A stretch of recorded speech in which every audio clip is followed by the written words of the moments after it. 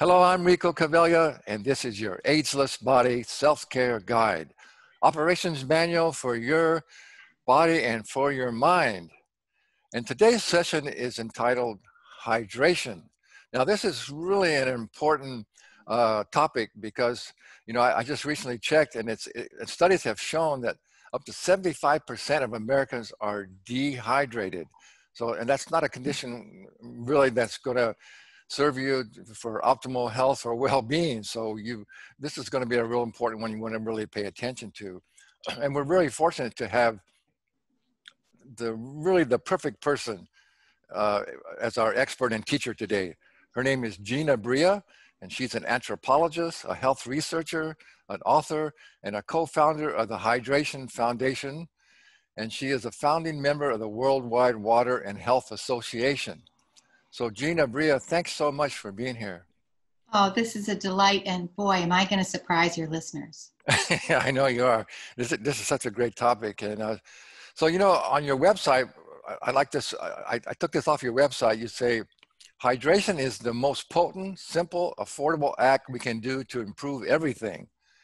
We are bodies of water and we live on a water planet. With, re- with reverence for water, we heal our bodies and our planet. So let's talk about that a little bit. Talk, ex- expand on that. Well, uh, the first thing I want to share is that we are far more water. We're, as water beings, we are far more made up of water than we have ever recognized before. So that's important. We'll talk about that. Rico, thank you so much for you know giving me this opportunity to, to really improve people's hydration. Um, the second thing we want to share is that um, the way we've been going about hydration is really a, um, a, bro- a, broken system. So trying to guzzle eight glasses a day is actually not the way to hydrate. It's not the traditional way to hydrate. It's the way we've been told um, that we really need to expand our concept of where we get hydrated from. So uh, just sticking with liquid hydration is a real problem, and we're going to talk about that today. And then finally, um, why your personal hydration is a contribution to all of our ecological crises and how just being a better hydrated person is going to be part of the chain of healing as we need such profound healing both ourselves and our world. Wow, that sounds so great. Yeah. all right. So, how about just start off with really what is hydration? Yeah. Uh, how, how do you de- define that and, and uh, maybe talk a little bit about what uh, water does biologically, biologically right. in our bodies? Right. So we're used to thinking water as what moistens us, and we don't really recognize that water is actually an energy source. It is the gas that the body runs on, if I can put it that way. And, um, and it's, it's also not just coming in a liquid form which is how we think of getting you know more gas in our body guzzle more and more water. And that's the idea that's been put forth um, since maybe the late 40s um, uh, looking at water simply as a volume mechanism like get enough of that water in you and then somehow it does all its work. But actually water is um, the most important quality of water is its ability to conduct electrical function in the body so we all know water conducts electricity, right? We're used to thinking of that. We just haven't mm. really thought about that as a mechanism inside ourselves. Mm-hmm. And the best form of water to conduct electricity is not liquid. It's a it's a more gel, a slightly more viscous form. Uh, we know that from EKGs where they put they'll put a, a gel on you to help mm-hmm. conduct the electrical readings through your body. We have the science that helps us understand that water is in different forms. It's vapor, liquid, gel, a jelly-like form, and ice. And the jelly-like form is actually what is the kind of water that's inside of us, inside of our cells. And that's what the body's busy trying to convert um, liquid water into a, a, a, thicker form, a more concentrated form. And that's the water that really runs us well. So we want to activate our body's ability to convert that water into a slightly more dense form. And throwing all that liquid in our body actually dilutes that process. So mm. surprise, the best place to get water is nat is the way nature has already packaged it, and that's in food form. So, great foods like um, watermelon, of course, apples, surprisingly, leafy greens are 98% of this slightly thicker water, which conducts water at a more electrical heightened form. That means that eating your water, eating more of your water, is going to be, a, our high plant diet is going to be a really smart way to get way better hydration than guzzling all of that water that we're doing. By the way, that tap water and that bottled water has lost through the way we process it its electrical charge. So you're actually drinking water that doesn't have any kind of um, electrical or electron ability to help our cells fire and signal to do the work that it needs to do. So this wow. is big news. This is big news. That is big news and really interesting because what I've always learned in the past, you know, people would say that uh, you know, just drinking pure water you know, hydrates you best because it doesn't need to be digested. It goes right into the cells. But, mm-hmm. you know, when you drink like tea or coconut water or something right. like that, any, anytime you put anything in the water, then it has to go through the, through the digestive system. So, so talk about that a little bit. So water's more sophisticated than that. That's a very mechanical approach. But water has um, these capacities for signaling. It's got an electromagnetic current to it and therefore, it passes into the cells as signals, not just as molecules.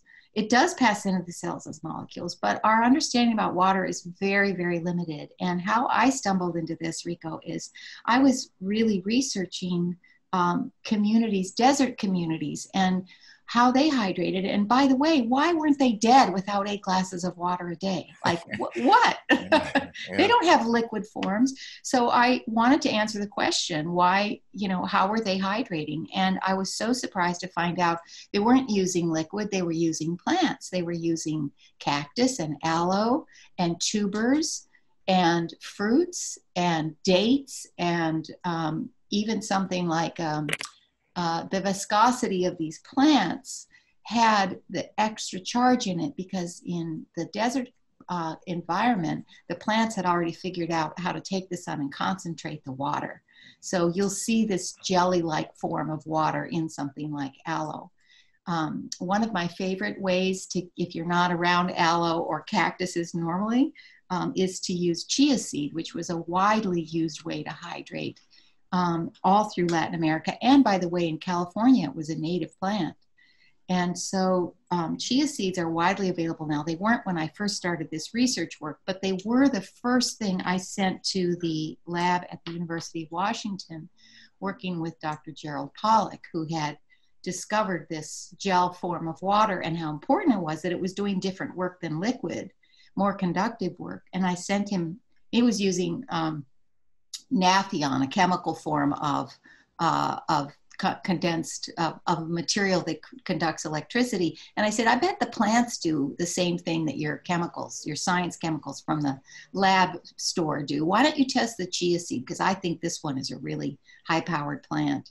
And um, he did actually confirm that the chia seed and the, the gel that it releases when it touches liquid is, of course, this more concentrated form of water. And therefore, when we get that kind of food in our diet, our hydration levels really change very quickly. Now, why that's so important is our, it is our gas, it's our fuel. It's also our electromagnetic cell signaling coordinator. So, water in the body, the right kind of water in the body, actually organizes all the functions of that your cells are signaling. It helps orchestrate and conduct clear messaging. So your capacity for healing and longevity changes when you get the right kind of hydration. And of course, if we look at blue zones all over the world, we see that they are hydrating differently than we are. They're not guzzling eight bottles of water a day. They're eating lots of plants that have this extra charge in the water that's inside the plants. Wow, that's so good to know. Yeah, mm-hmm. that's that's such great information, Gina. I really appreciate that. Uh, yeah, uh, well, before we get into, I want to talk a little bit more about the chia seeds. You know, I've been yeah. reading about that too. And we, mm-hmm. we always knew that they they had some really uh, uh, nutritional qualities, but not so much known of, of, as far as the water type thing and how it can create structured water. But before we get into all those different kind of waters, just to, to talk to us a little bit about what problems really arise when you when you are dehydrated. Well, if your cell is made of water, which it is, it's a it's this gel-like form of water inside the cell. And how that works is the the that plasma form, the thicker, uh, not the liquidy form, but the slightly thicker form of water is what allows functionally the proteins to fold and unfold. So all your cell function, your your your muscles and their ability to react quickly, your cognition and your ability to um, be resilient in your thinking, your mood, your all of these things are run on hydration. They're not run on anything else. We mostly think they're run on nutrition, but actually water is what dissembles the nutrients and allows them to be bioavailable. So if you don't have that water to do all this kind of work, where it's literally taking apart the nutrition molecules, uh, changing them into electrical signals, sending them into your system to do their work, um, you're taking supplements for no good reason. You know, you're taking a great diet without understanding that water is the master uh, who opens the door to all that nutrition doing its work, to all the function of the cell doing its work, to the clarity of your mind and your mood. All of this, we're water beings. We're made of water. So. Wow. So how can people uh, know if, if they're getting proper hydration or not? What are some well, I love to I love to ask people, are you irritable and crabby and do you have a despairing view of life? yeah. Do you think you're just going downhill? You know, do you are you facing aging as an inevitable decline? Mm-hmm. That's simply dehydration. I mean, the ultimate dehydration. I'm going to be really blunt here is death, mm-hmm. right? And so keeping ourselves well hydrated until the moment that plug is pulled on us allows us to have a very different experience of aging. And this is the message that's missing in the medical community. And it's why I wrote a book called Quench with a medical, an, an integrative physician, because I knew nobody was going to listen. Eh, who's going to listen to an mm-hmm. anthropologist, Rico? Even though I was coming with this extraordinary information about how desert communities, their longevity, their clarity of thinking, their joy in life, their ability to be in motion and live a day was completely different because of the kind of water they were getting access to. So I'm very excited that I get to share this with your listeners and I get to share this with yeah. you. And to think differently about how we're going to age really requires a new way to think about hydration. Yeah, I, I really appreciate this. I, I, really appreciate this. Such great information, Gina. Again, I want to thank you for your great work. Yeah, that's yeah. just so important. Well, we, before we talk, in, before we go into what are all the types of, of plants and, and, ways to get the best type of water in your body. Mm-hmm. But but let's do still go over basic water. And we're still going to drink some basic water, right? right. So yeah. So, so what kind of water do you just regular water uh, do you recommend people should right. be drinking? Right, right. So I don't want to get talk people out of using water right. yeah. Um, because the water does use liquid, the body does use liquid water to transform into gel water. But I want to make it easier for our bodies and to help people shift to realize they need to get more water from plants. Right. And this is literally how nature has packaged water for our animal use. yeah. You know, you see when you watch animals in the wild, they aren't guzzling water. They're also grazing, they're also eating a lot of mm. fruits. Wow. So, water is part of the chain, but it's not the whole chain. And we're missing the rest of the chain in our conversation about water. And partly the, the part of that problem, Rico, is that the water that we get from tap and bottles has been very compromised as well. It's yeah. lost its electrical charge. So um, we need to be careful the kind of water that we ingest, or we need to take some action on it to restore it because it's literally been interfered with by water treatment to make, you know, we wanted to make water um, uh, decontaminated and we, we chose the pathway of throwing chemicals at it. So we wash all our water. Nature takes time and soil and sunlight to re to decontaminate water. It's got its own system that's much longer and more gentle, mm-hmm. and is actually re- then recovers water not only from contamination but keeps it well charged. But we don't do that. We throw those chemicals at it, then we shove it in a pipe, and of course, water needs to spiral to really get in motion to do part of this cleaning work for itself and to change its state from just liquid to a slightly more viscous concentrated form. And when we put water through narrow pipes, there's not enough room for that water to spin. So there's multiple things going on that are taking down our water's ability to give us what it is supposed to be doing for us. So we have to recover that. And there's, I'm going to share such simple ways to recover. You're just going to be so surprised. So don't ever drink a, a glass of water from the tap or bottle again naked. Remember, you got to do something to it. Mm-hmm. So you, the things you can do to it are so simple. You can put a pinch of good salt, like a sea salt or a Celtic salt, in your bottle or in your glass of water. So simple. But what happens is that salts are carrying those electrical charges. They're minerals and they they start talking to the water molecule and they get an, a, a molecular spin going so the water starts to recover its charge when you um, for example coconut water. You talked about the sort of idea that people think um, oh you should only drink pure water. Um, but nature doesn't do that right? So coconut water actually is more hydrating than bottled water. We have now tested this. It's amazing but we have found out that its electrical conduction goes way down when we treat waters in the way we treat water. But we ourselves can recover water, and we can do it by expanding where we think about water. When you do use tap or bottled water, make sure you put a little salt in it, or, or um, you can throw in a, a cap full of apple cider vinegar, or you can mix in a spoonful of honey, or you can put a tea bag in there or you can cut up, you can just go straight to an apple. All of these ways are ways to additionally add to the water that we're recovering. We, that's our job. I thought about adding some little trace. I had these little drops of trace minerals. That, that beautiful. Yeah. It's a great strategy. Great strategy. And of course, because our soils are so mineral deficient, you're doing yourself a favor by adding to your hydration the minerals that are missing from our foods. So all of these things then start to work together to make our longevity look very different.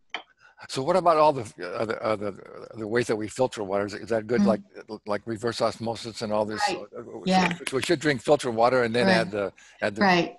I get a lot of questions about this. So, um, uh, drinking filtered water is, you know, our waters are very, very interfered with and contaminated. Um, and there's many ways to go about recovering that. And this is what I was saying about your personal hydration is part of water's recovery on this planet. Mm-hmm. This is how you're helping Mother Nature. Not only does it get you a better body, but we've got to help water. We really do. So, uh, reverse osmosis is a very expensive form of cleaning the water.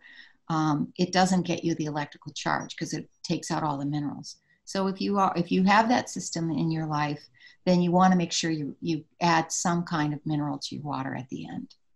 Um, or if you're drinking, you know, that water is compromised from, it, it's clean, but it, it's, um, it's actually dehydrating to the body.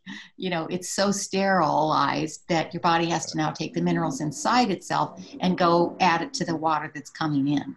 Mm-hmm. So you're actually diluting the value of the water you're trying, the very kind of water you're trying to go to. And it's why you can often find people like the taste, but eventually they don't really notice a big hydration difference. So just help it along. Give it some, you know, eat a beautiful diet. Have some soup that day. You know, just compromise. You know, find your your balance somewhere. So, what type of water do you do you actually drink yourself? Well, um, I I drink a lot of teas. Mm-hmm. I drink coffee. I love coffee. Um, I add things to those to stack that charge to bring more and more value to whatever it is I'm drinking. So I love using chia seeds. I especially like hydrating with chia pudding, which surprises people because they're used to thinking of hydration as liquid, right? Mm-hmm. But um, you know, can of coconut milk plus five tablespoons of chia seeds. Five, I always remember five because you have five fingers. So simple.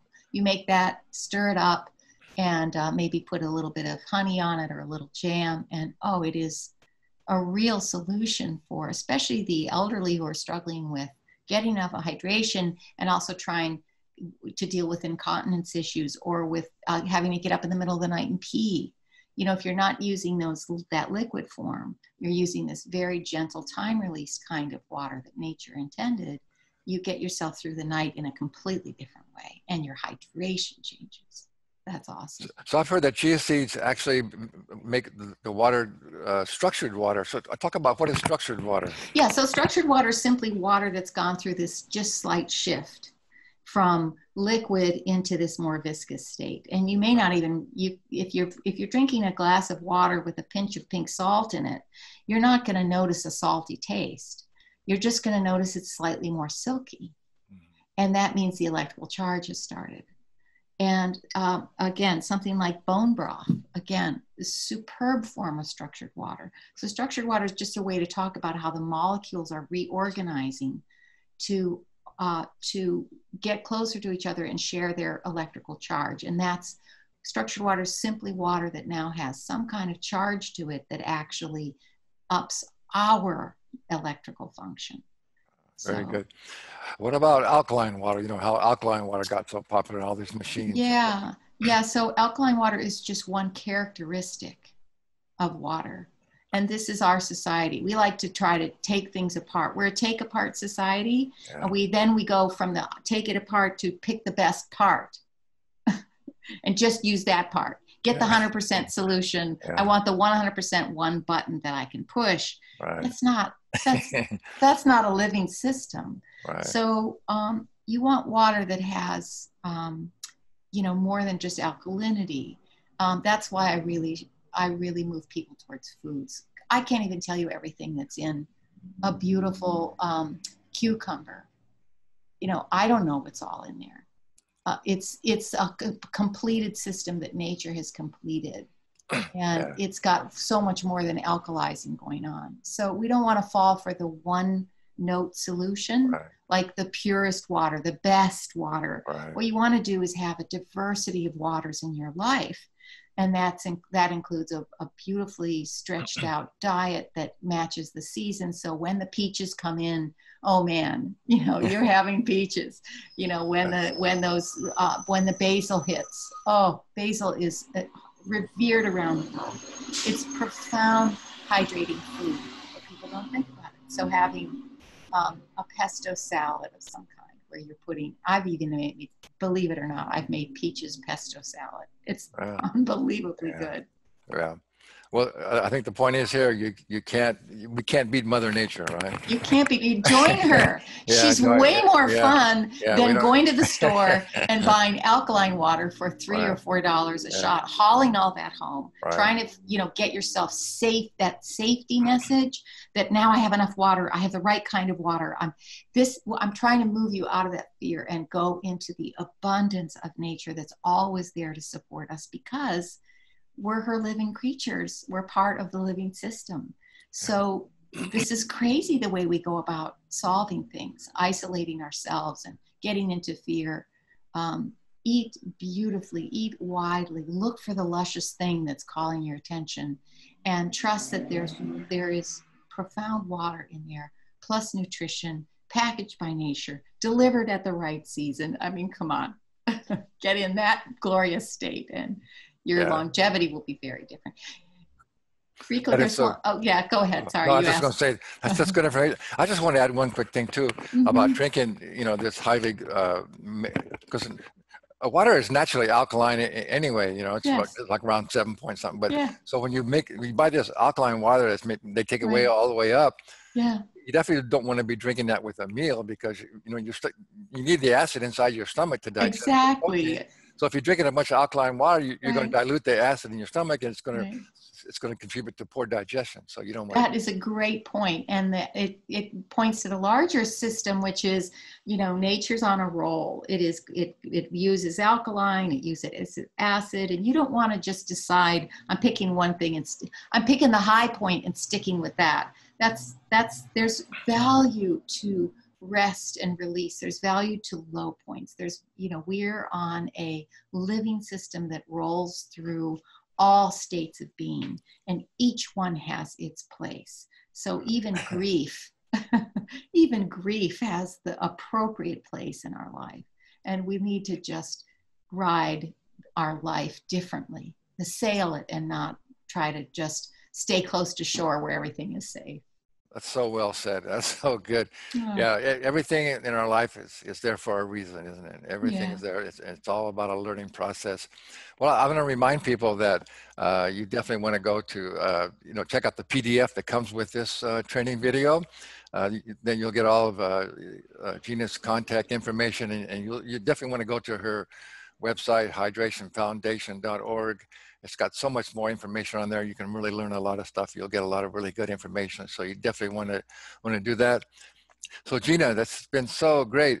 Uh, how about uh, if we could just give a couple, well, before I ask you to give us just a, a quick little summary, you know, a quick little basic few things people should start doing right now. Right. I want to ask you, yeah, what ideas have you, uh, do you have, how can we get people, to, how, how can we get people to, to stop well, first manufacturing and, and distributing, you know, these water right. bottles, which are causing yeah. such a, a pollution right. problem in the world. Yes. Well, here again, we're back to the question or back to the uh, statement I made, which is your personal hydration is part of the global solution. So stop mm. buying water bottles. Yeah. Just absolutely. don't do it. Yeah. Don't, don't, you don't need it. And, um, and, uh, you know, go buy apples from an organic farmer yeah. you know um, that cost difference is your contribution to the our mother earth who desperately needs our help right now. I don't want you to think about it as well that affects that is costly to me. I want you to think about i get to make a change and i get to contribute here. And boy my generation is going to do it. So if it's an extra five bucks here i am have it. If you're on a limited budget um, there are so many ways that you can so easily bring up your own personal hydration without extra cost. You know, the salt idea is really important. So, a good quality salt will last you. You pay $12, it will last you nine months. Um, it's urgent that you start making your water slightly like a very diluted saline. Those couple pinches of salt in your glass of water and I'm just talking, and don't worry about the sodium issue. I already did it all the work for you. I did all the calculations. Even if you're on a low sodium diet, this will not put you over. It's under 1500, so don't worry about that. But what you're doing is literally when you go to the hospital in crisis state of dehydration, what do they do? They put you on saline. That's the first thing they do. So this is a mild, ongoing, everyday way to intervene and help yourself with saline and we have the studies which show that water with salt in it, a glass of water with salt in it, is two thirds more hydrating than water without. So we know you drink less, you don't have to pee all the time. Thank you. and you get way better hydrated. Your electrical function goes up, which means your brain and your mood changes. And that's really, really important. So, um, I, I think the best way to really help people think about this is if I just kind of go through a day with you and show you what a day could look like that's different. Okay. And one of the ways that I can help uh, that preface this is by saying one of the underrated and misunderstood uh, pl- uh, hydration strategies is movement because we guzzle all the water. That's all they ever tell you to do. They don't tell you that your body needs to then distribute that hydration. And it's using its tissue osmosis by your motion to deliver the moisture and the water and the electrical function all the way to your fingertips, through your joints, to your feet, to your knees. And now I get to tell you that the second half of hydration is movement, mm. but gentle movement. We're not talking about um, the hour of exercise. We're talking about moving through your day with slightly more movement than you would surprise yourself with. Um, yeah, so now yeah. that I've set that stage, let me walk you through what a day would look. Okay. So why I wanted to preface that is when you wake up in the morning, you're in bed and you're nicely warmed by your sleep. And your spinal fluid, your spinal canal fluid, all the fluids in your tissue are beautifully warmed up from that bedtime sleep. And they've also collected all the waste of the night, which is when our whole body, especially our brain, does its sanitation. Mm-hmm. So you're now in a waste removal system. And understanding that means you know you have to move a little bit with that warm water. So, right while you're laying in bed, before you ever do anything else. You just simply can put your head, your chin, your head moves down to your chest. Just move your, touch your chin to your chest or get as close as you can, and then move it back up just two or three times. So simple. What you've just done is a whole pressurized flush of your synovial canal. Mm. And you've just pressed out all that water out to the nodes that are going to collect it and get it out through your lymph system. I can't think of a more profound act of hydrating strategy for longevity and smart brain, smart tissue. Then you can wiggle your fingers, move your elbows around. I really like to massage my mattress with my shoulder blades I'm doing this before I even get out from underneath the covers. Yeah. yeah. oh my gosh. And you just wiggle a little bit, move your bones, move your joints. And what you're doing is flushing out the waste that's accumulated and drawing in new, new hydration. So you're going to want to get up after a little wiggle in your bed and a few chest pumps. And you're going to want to go to your uh, morning routine of having your hot liquid, whether it's tea or coffee, and you're just going to add an extra glass of water there, usually warm. So I have my coffee. No one's going to interfere with me and my coffee first thing in the morning. I'm sorry. But after I have my coffee, I have a glass of warm water with a little bit of salt in it, or I might that day choose a lemon, or I might that day choose uh, apple cider vinegar. And through the week, I cycle through all of these strategies. And um, and so I've already added two huge hydration strategies to begin my day, which is simply adding an extra cup of warm water and sipping that through the morning. By um, 11 or 12, I might want to make a smoothie. And that's brilliant hydration strategy because you're throwing all those plants into one place, blending it, making it more uh, surface tension available. You're making more of that nutrition available. And I'll have, uh, uh, I used to drink a lot more smoothies, but I've gotten so hydrated and so new, nutri- new, full of nutrients that I find I only need like a cup of a smoothie now instead of that quart. So you're going to want to adjust that for where you are in your life. And if you don't make smoothies, you don't like smoothies, you can just take a little chia seed at that point and put it in a juice. So pomegranate juice is brilliant. With a teaspoon or a tablespoon, you're going to find your own level and your own like, your own preference of chia seed is, is an instant smoothie that is so hydrating and will time release hydration throughout your body for the rest of the day. Come on, that's astounding. So then if I'm having a pizza that day, I'm going to add a salad. I'm going to compensate for whatever drying foods I'm eating. You know, if I'm having a chicken breast, chicken breast is very unhydrating. There's nothing there, you know. Mm-hmm. I'm going to I'm going to add a salad to that or cut up some peaches or make sure I have um, you know, some melon with that beautiful um, green melon, uh, that honeydew melon with a little bit of, um, again, few basil leaves. Oh my gosh, we're talking about the joy of, of you know paddling through what's available and what's delicious and what's going to bring you joy. And then throughout the day while i'm um, for example i'm chopping that melon i'm going to think about wait i want to i want to make sure i get my elbows up somehow. So i'm chopping and i'm just kind of dancing while i'm chopping. For women especially every day i tell them get just make sure you get your hands above your head get your elbows up by your ears because that's a drainage system we're not activating. Who tells you to do this during the day? This is all tissue draining, especially around the breast and the breast tissue. We don't ever do that. So get your, just make, just do that gesture a couple times during the day. If I'm on the phone, I'll stand at a doorway with my arm above me. My phone's in one hand, my arm's above me, and I'm just kind of twisting So, twisting is a very important part of squeezing tissue, squeezing out old waste. And when you release, it draws in the fresh hydration. So, I always make sure I get my chin over my shoulder. Mm-hmm. I do a few spinal twists while I'm, you know, getting ready to sit down at my computer. I'm just activating this all day long, which is what longevity traditions do. They are in motion. Yeah, very good. Gentle motion. Gina, that was so amazing and so awesome, awesome and so helpful for people.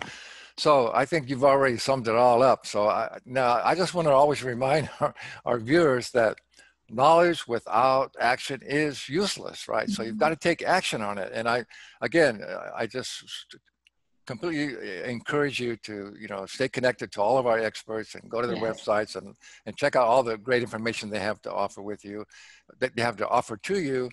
And uh, again, I promise you that if you follow these recommendations that all of our great experts have are giving you, especially what Gina did today was so good, your your overall health and well-being is going to be greatly improved. I, I promise you that's the truth. So, Gina, once again, thank you. That was fantastic. It was so good. I learned a lot.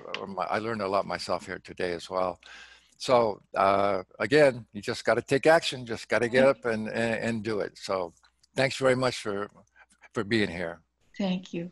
Appreciate it, Rico.